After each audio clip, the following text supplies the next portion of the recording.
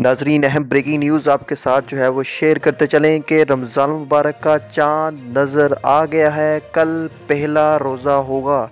ये अहम breaking news हम आपके साथ जो है वो शेयर कर रहे हैं कि सऊदिया अरब में रमज़ान मुबारक का चाँद नज़र आ गया है। सऊदिया मीडिया के मुताबिक कल पहला रोज़ा होगा, जबकि पाकिस्तान में रमज़ान मुबारक का चाँद देखने के लिए मरकज़ी रूत हिलाल कमेटी का इजलास तलब हो गया है। कल रमज़ान मुबारक का चाँद देखा जाएगा, जबकि महकमा फलकियात के मुताबिक रमज़ान मुबारक का चाँद नज़र आने के वाजिया इम्कान मौजूद हैं। चाँद नज़र आने की सूरत में पाकिस्तान में बरोज़ अतवार को पहला रोज़ा होगा।